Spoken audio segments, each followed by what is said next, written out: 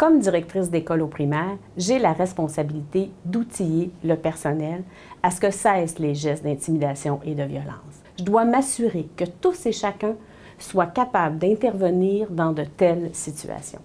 Toute l'équipe école travaille à fournir à votre enfant un environnement sain et sécuritaire. En tant que parent, vous êtes les premiers éducateurs de vos enfants. Nous, nous arrivons par la suite. C'est pour ça qu'il est important de travailler en étroite collaboration. Notre mission, c'est l'éducation. C'est pourquoi nous y mettons toute notre passion et tous nos efforts pour mieux vous soutenir. Il est important de leur apprendre les bons comportements, les bons gestes, ce qui est acceptable ou ce qui ne l'est pas. Ça veut aussi dire mettre des limites, mettre des cadres à l'intérieur de l'école et à la maison.